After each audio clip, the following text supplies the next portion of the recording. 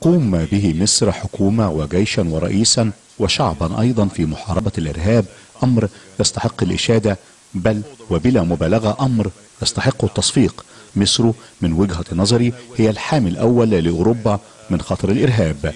الأمن المصري شرطة وجيش حين يقدم تضحيات إنما هي تضحيات لمصر ولأوروبا وللعالم.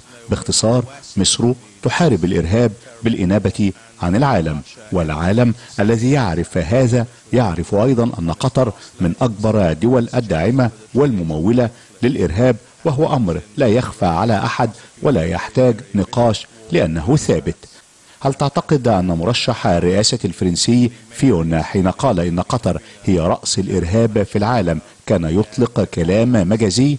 على الإطلاق هذا الرجل كان رئيس وزراء لفرنسا في يوم من الأيام وما قاله هي معلومات استخباراتية مؤكدة.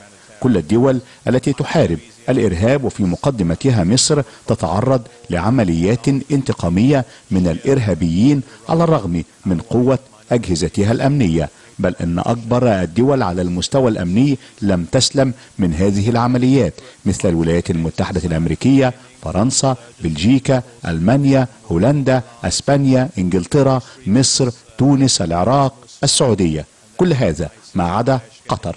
هل تمتلك قطر أجهزة أمنية أقوى من كل هذه الدول أم أنها حليف للإرهابيين؟ على أي حال الأهم بالنسبة لي الآن هو تقديم كل الشكر والدعم للرئيس المصري السيسي لمحاربته الإرهاب بالإنابة عن العالم ولحماية العالم من هذه الآفة.